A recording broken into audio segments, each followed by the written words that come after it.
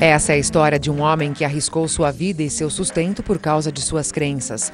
Um homem que defendeu a causa afro-americana de maneira sociológica, moral, educacional, atlética, espiritual e financeira.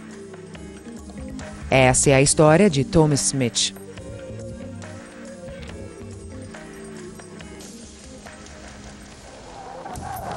Para entender sua história, temos que voltar ao ano de 1968.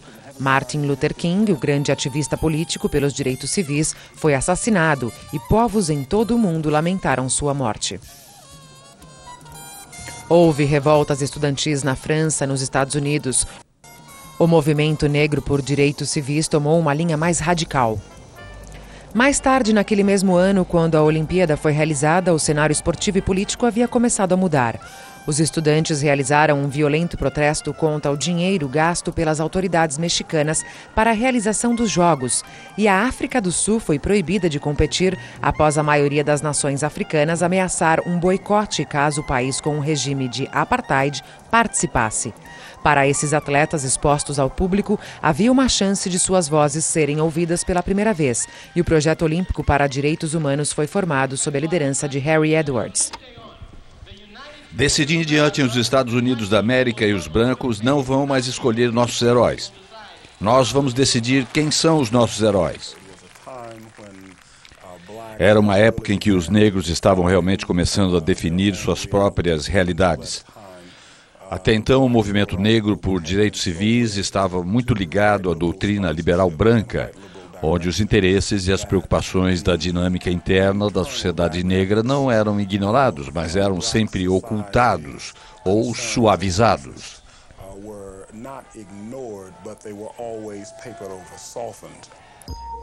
Para Tom Smith, a hora havia chegado. Estudante de 23 anos da San Jose University State, ele já era o homem mais rápido do mundo na prova dos 200 metros. Naquela época eu tive que perceber que estava envolvido porque era conhecido mundialmente por estar no auge dentro de uma classe social que era o atletismo. Eu tinha que fazer alguma coisa. Tinha que expressar meus sentimentos e disse várias vezes a mim mesmo: Meu Deus, Tommy, quando você estava na aula de gramática, nunca disse uma palavra. Você fez apenas o que pôde e seguiu em frente. Agora, Deus lhe pôs nessa situação e você tem que dizer alguma coisa. Somos PhD em velocidade. Toda vez que alguém é PhD, muito bom em alguma coisa, o povo quer ouvir mais dessas pessoas. Enfurecido com a maneira que os negros eram tratados em seu país, Smith, junto com seu colega de provas de velocidade, John Carlos, começou a organizar um plano que iria atingir seu clímax na Arena Olímpica. Na altitude da cidade do México, 34 recordes mundiais foram quebrados. Porém, o desempenho esportivo não era a maior preocupação de Smith. Havia duas coisas que estavam realmente me deixando inquieto: uma distensão muscular e a pressão política por ter que vencer. Outro resultado era inviável. Eu tinha que vencer.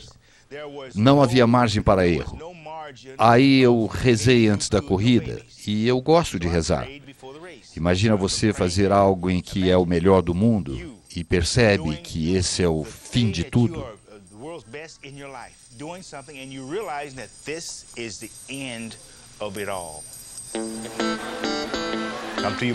Para suas marcas, preparar, depois o disparo. E o tiro. Eu pude ouvir o som do tiro por quase metade da corrida.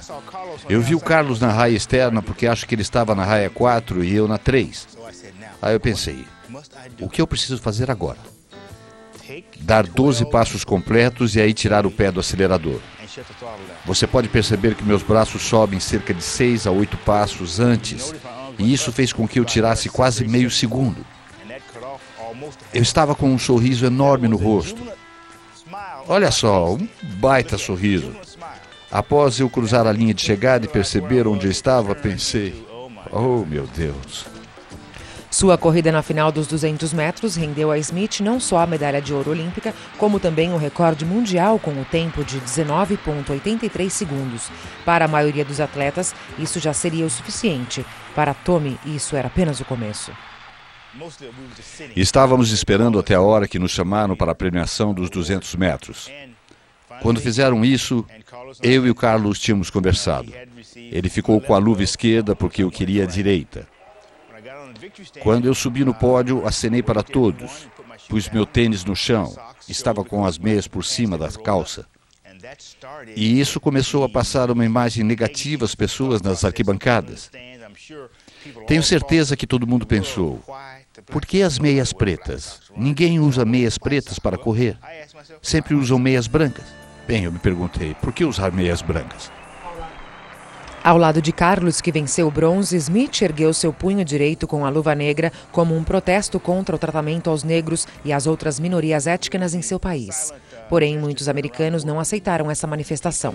Foi um gesto em silêncio ouvido em todo o mundo e fez com que as pessoas começassem a entender o que aconteceu, porque John Carlos e Tom Smith não disseram uma palavra. A palavra que foi devorada pelas almas dos que viram o que aconteceu. A palavra dos espectadores e não dos protagonistas. Em vez de um protesto passivo que Smith e Carlos haviam planejado, muitos americanos o viram como um ato de deslealdade. Com o protesto, fomos vistos como militantes. Uns malucos da vida, porque éramos diferentes, queríamos igualdade e destacamos e usamos o atletismo, onde éramos especialistas, para destacar as questões urgentes. Não era para fazermos aquilo, era para nos comportarmos como bons meninos, subir no pódio, receber a medalha, pôr a mão no coração e respeitar a bandeira que não nos respeita. Eu não penso desse jeito. Um espectador interessado na causa era seu compatriota Bob Benan, que derrubou o recorde mundial no salto em distância na mesma Olimpíada.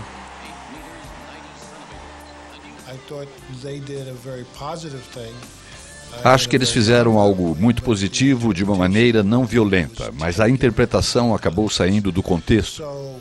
E eles pagaram um preço muito alto por fazer algo que eu acredito que a mídia levou para outro caminho.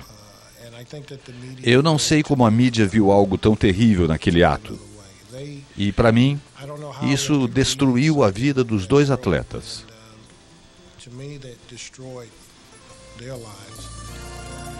Smith e Carlos foram imediatamente banidos do time americano e tiveram que retornar para os Estados Unidos. Suas vidas haviam mudado para sempre. Hoje em dia, Smith vive uma vida tranquila em Los Angeles com Delois, sua terceira esposa, mas ele jamais se esquecerá da maneira que foi tratado. Quando retornamos da Olimpíada, eu achava que as pessoas ficariam orgulhosas, porque representamos algo que havíamos trabalhado por quase três anos mas não foi recebida exatamente dessa forma. O protesto em silêncio custou à dupla seu sustento de vida por muitos anos. Recebemos muitos tipos de ameaças, ameaças de morte.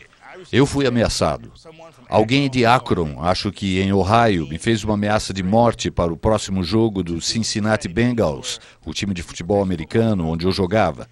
Se eu fosse visto com um uniforme, levaria um tiro.